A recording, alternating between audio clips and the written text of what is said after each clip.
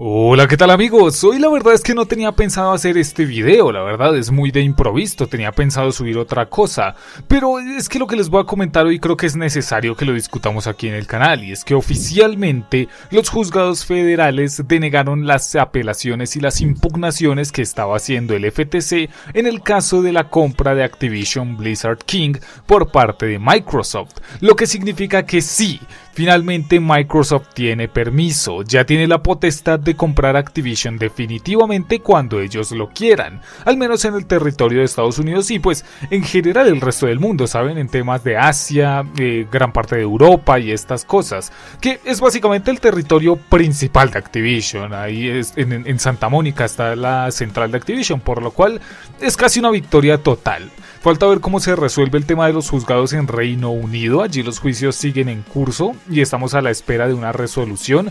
Nadie sabe qué puede pasar ahí, pero no hay problema. Microsoft es muy tajante en esas cosas. Ya han declarado que si la decisión del juez no llega a ser favorable, retirarán de inmediato los productos de Activision del Reino Unido. Y ojo, recordemos que Activision es más grande que Call of Duty. Tenemos que si Overwatch, Diablo, World of Warcraft, incluso Candy Crush, o sea, es algo brutal. Estamos hablando de algo muy potente, de una compra muy potente en la historia de los videojuegos, porque nunca habíamos visto que una empresa del tamaño de Activision, que además esté bien, o sea, sus números están bien, ¿saben? No está en una decadencia muy marcada.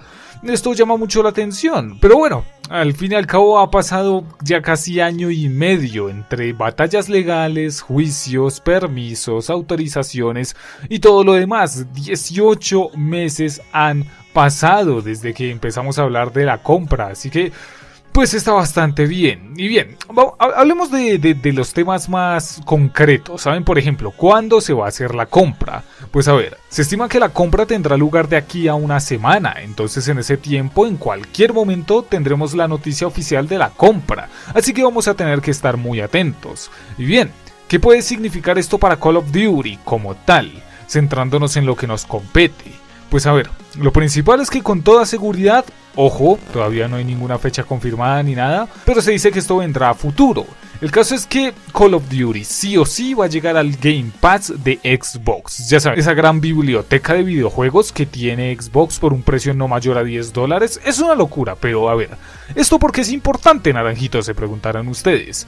Les explico. El hecho de que metan un juego al Game Pass supone una especie de relanzamiento entre muchas comillas de cada juego, el que sea, Deadloop, Hollow Knight, Minecraft, cualquier juego que quieran imaginar. Y este entrecomillado relanzamiento, pues para ello Microsoft hace como un pequeño mantenimiento del juego, lo que permite que esté en el Game Pass, listo para ser jugado. Quiero que recuerden que hace un mes o así subí un video o dos hablando del cierre de X-Labs y la cancelación de SM2, productos que en esencia buscaban revitalizar los juegos antiguos de la saga, mantenerlos jugables. Recordemos también que a día de hoy, más que nada por el barato servicio multijugador que tiene PlayStation, los juegos clásicos de la saga son injugables debido a las infestaciones de hackers que hay por ahí. En todos los juegos siempre corres el peligro de que te hackeen la consola, porque Sony y Play siempre han sido muy mediocres con esto. Ojo, no es culpa del todo de Activision. Los juegos clásicos, pero no tan clásicos como Infinite Warfare, Black Ops 4 o World War II son juegos que están en estados excelentes. Esto es culpa de lo lamentable que es el servicio de PlayStation para los juegos clásicos. Ahora imagínense que para sacar los juegos en el Game Pass, Microsoft le dé mantenimiento a los juegos. Los arregla, les pone un buen anti-cheat, les mete en sus servidores y ¡boom!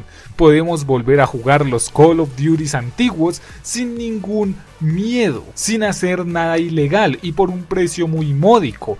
O sea, piensen que cada Call of Duty a día de hoy cuesta alrededor de 70 dólares, pues los tendríamos todos, casi los 20 títulos de la saga, por 10 dólares. Eso es un ofertón. Como les digo, esto es algo que llegará a futuro, no sabemos qué tan a futuro, pero piensen en cómo PlayStation ha estado regalando juegos como Black Ops 4 o World War II. Microsoft sin duda hará lo mismo gradualmente hasta tener toda la saga en su colección. Es algo simplemente increíble. Ya el tema de la exclusividad es un tema que me ilusiona. Los grandes shooters de la historia le pertenecen y son exclusivos a Xbox. Halo, Gears, o sea, son leyendas exclusivas. Ahora imagínate si Xbox logra la exclusividad de Call of Duty, que es el shooter más grande del gaming.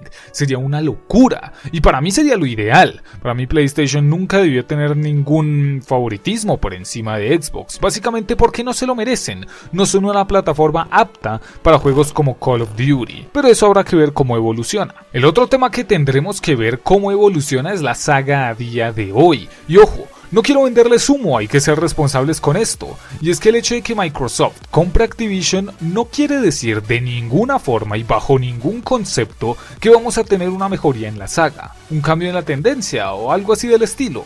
No creo que vayamos a ver algo así. Más que nada porque en las otras dos grandes sagas de shooters que les mencioné, Microsoft nunca fue de inmiscuirse mucho en los asuntos de las empresas que llevan los juegos. Cuando el manto de Gears pasó de Epic a The Coalition, Microsoft no tuvo nada que ver, y cuando Halo pasó de Bungie a 343 Industries, Microsoft tampoco tuvo nada que ver. Así que, a menos de que haya un extremo caso en el que a Microsoft se le vaya la cabeza y decida que la gente que ahorita está en Activision no es conveniente para el negocio, que puede pasar por las acusaciones por acoso laboral y demás cosas, no creo que Microsoft vaya a hacer un gran cambio. Microsoft ha presenciado como Halo pasaba de su brutal era dorada a una cierta decadencia. Lo mismo con Gears, que bueno, ellos no están tan en decadencia, pero ve y mira las comunidades de estos juegos. Son iguales a nosotros, se están quejando por el estado del multi de sus juegos. Es más, la saga Halo y la saga Call of Duty son tan parecidas que en Halo existe su propio Call of Duty Black 2, o sea, un juego absurdamente sobrevalorado. Y también tiene su propio Call of Duty Ghost o Infinite Warfare, un juego ridículamente infravalorado. Es una locura, estamos hablando de sagas al extremo parecidas. Lo único que veo es que quizás bajo el mando de Activision, quizás Call of lo único que veo es que quizás bajo el mando de Microsoft, quizás Call of Duty no hubiera tenido un Battle Royale. No es casualidad que ni Halo ni Gears se hayan unido a la moda de los juegos así. Y la verdad no sé qué tan conveniente hubiera sido eso para la saga, la verdad. A mí puede que no me guste, pero uno, Warzone junto a Call of Duty Mobile son lo que a día de hoy sostienen al Call of Duty y siguen trayendo jugadores. Y número dos, Warzone nos ha regalado una experiencia Call of Duty nueva y a mi parecer por momentos exquisita. Así que no lo sé, quizás estoy especulando demasiado, pero soy alguien muy metido en las comunidades de Gears y Halo, porque son juegos que amo tanto como Call of Duty, y no veo que estemos tan lejos de ellos. Sin duda lo mejor que traerá la compra de Activision será que los juegos nuevos serán revividos,